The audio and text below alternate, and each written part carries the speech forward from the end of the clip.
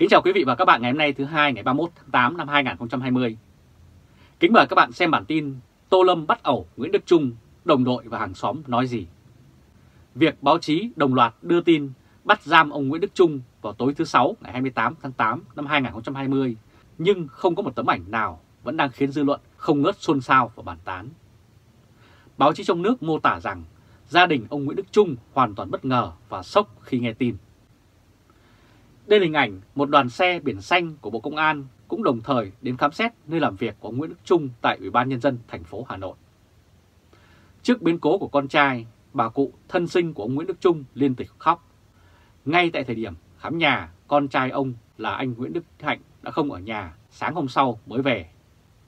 Mẹ ông Trung tuổi đã cao, có bệnh và giờ liên tục khóc trước biến cố của con trai.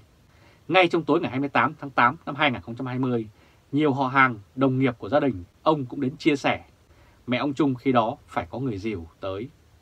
Nguồn tin chia sẻ với báo Tiền Phong như vậy. Phóng viên cũng đặt câu hỏi, ông Nguyễn Đức Trung có chia sẻ gì với gia đình trước khi bị bắt tạm giam hay không? Vị này nhận định, có lẽ ông Trung không chia sẻ nhiều với gia đình về những việc liên quan đến bản thân nhằm tránh cho mọi người phải suy nghĩ.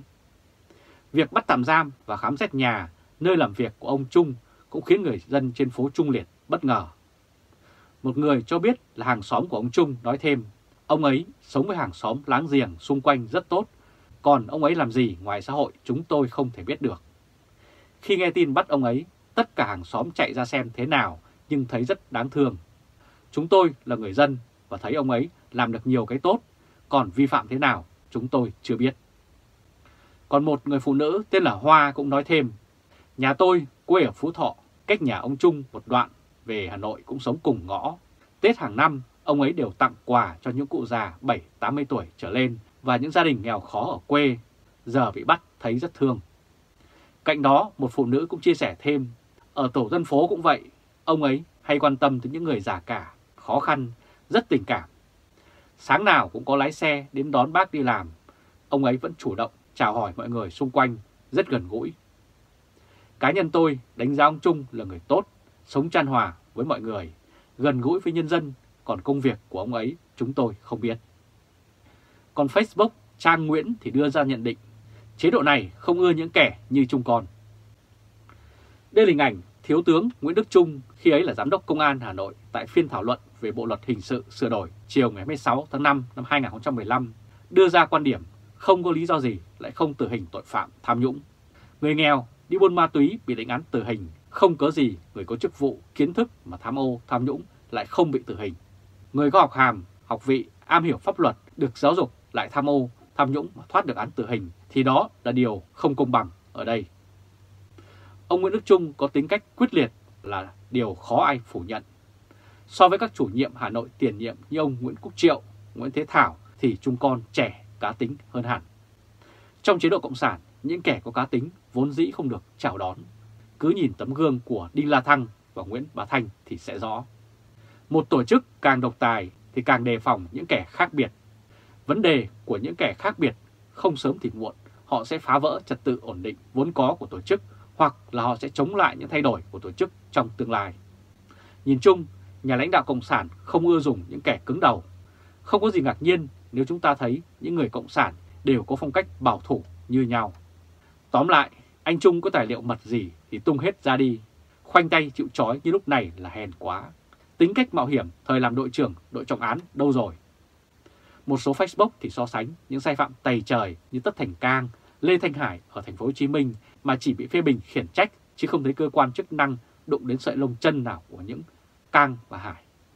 Cùng quan điểm ấy, Facebook Nguyễn Đăng Hải đưa ra phân tích như sau. Anh Trung Mini thì tính ra sai phạm kinh tế chỉ khoảng 5 tỷ thì tống vô tù. Nguyễn Thanh Nghị, Bí thư Kiên Giang sai phạm khoảng hơn 2.300 tỷ thì thẳng đường vào Bộ Chính trị, trở thành Ủy viên Bộ Chính trị trẻ nhất Việt Nam trong lịch sử.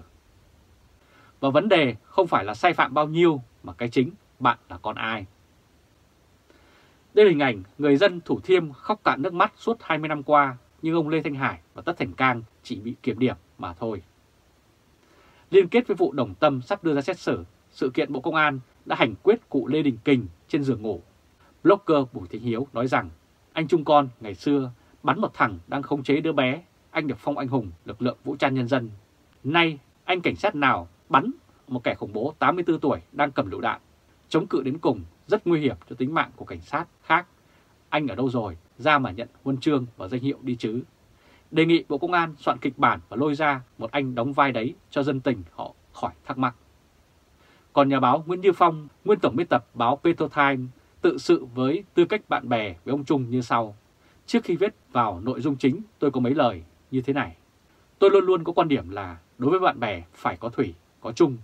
Bạn bè có thể mắc sai lầm, có thể làm nên tội, có thể vào tù, nhưng đó là việc của họ với xã hội, với pháp luật. Ai làm sai thì phải chịu. Còn nếu họ chưa xấu với mình, chưa phản bội tình bạn, thì trong lúc họ hoạn nạn, khó khăn, trong lúc họ có thể tuyệt vọng thì không được bỏ bạn. Cho nên khi tôi viết Phan Văn Vĩnh, Bắc Hà, Đinh La Thăng hay một số bạn khác, nếu ai đó có lời bình luận máy móc, giọng đều thì tôi gạch tên ngay. Đừng có vào Facebook của tôi để chửi bạn tôi. Còn ai thích phê phán, thích liên á họ thế nào thì cứ việc mà tự viết. Ngay trong mấy ngày qua tôi cũng đã gạch đi một số người. Ông chia sẻ như vậy.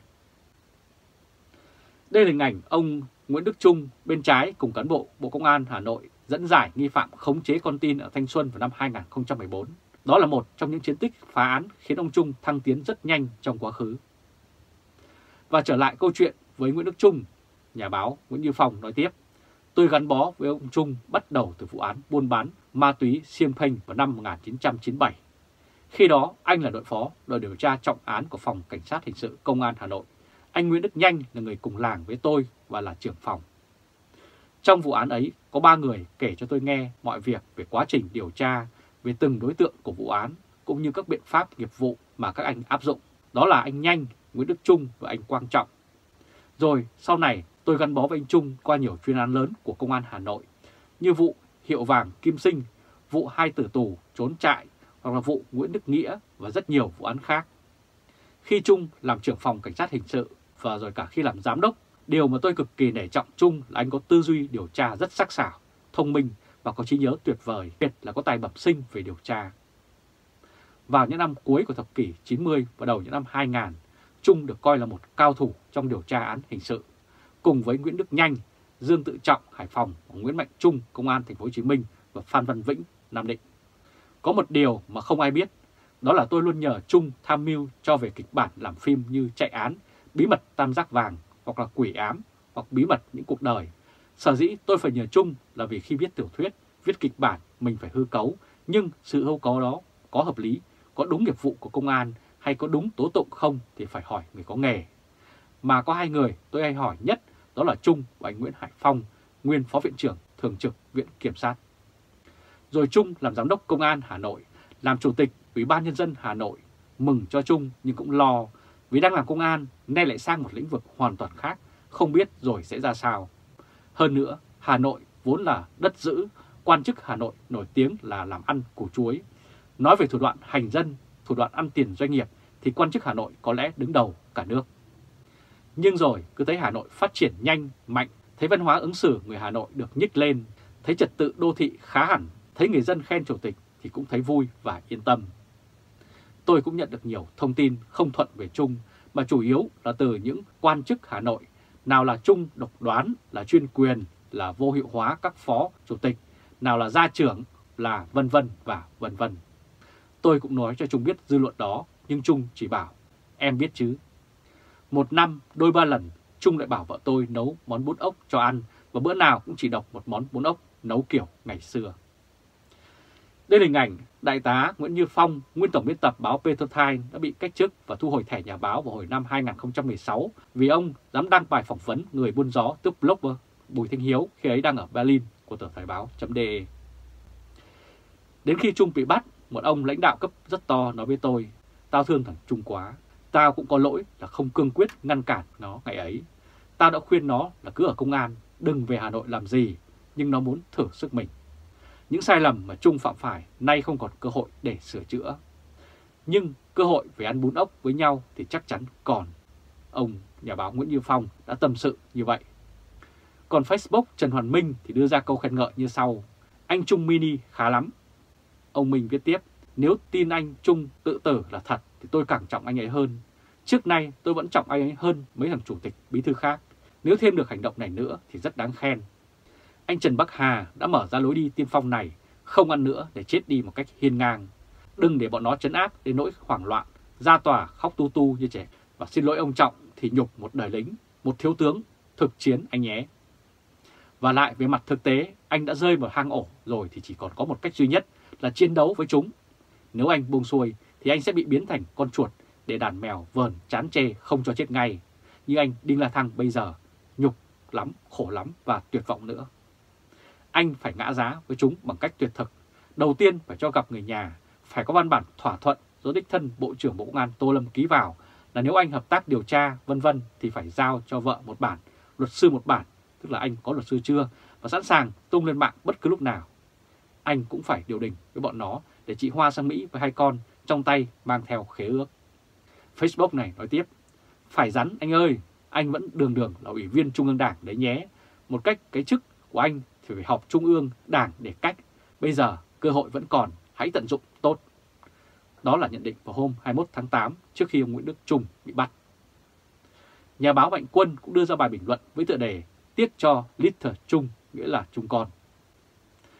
Đây là hình ảnh dự án trồng một triệu cây xanh ở Hà Nội của Chủ tịch Nguyễn Đức Trung khiến cho nhiều người dân ghi nhớ. Chiều nay trên đường đi làm về, trên đường Kim Mã, nhìn dặn cây bàng, đài loan bắt đầu xòe tán, tự nhiên thấy thật đáng tiếc cho anh Trung. Không phải ông nào làm Chủ tịch Hà Nội cũng để lại vài thứ khiến người ta phải nhớ đến. Ít nhất là có hai việc anh Trung làm khá ổn. Đó là chương trình trồng một triệu cây xanh, lẽ ra năm 2020 mới hoàn thành, nhưng năm 2018 chương trình này đã xong. Trong nhiệm kỳ của ông Trung Con, người ta cũng đã thấy nhiều tuyến đường ở Hà Nội được cải tạo, mở rộng và rất hợp lý như đường láng, nghi tàm giúp cải thiện rõ rệt tình trạng ách tắc. Và các hoạt động chỉ đạo phòng chống đại dịch viêm phổi Vũ Hán có thể nói khá ấn tượng và hiệu quả. Sẽ rất khó để tìm được người thay thế anh Trung có thể làm quyết liệt như đánh trận như vậy. Chặn F0, F1 rất nhanh và ai cũng đều cảm nhận thấy hiệu quả từ quyết định chỉ đạo của ông này.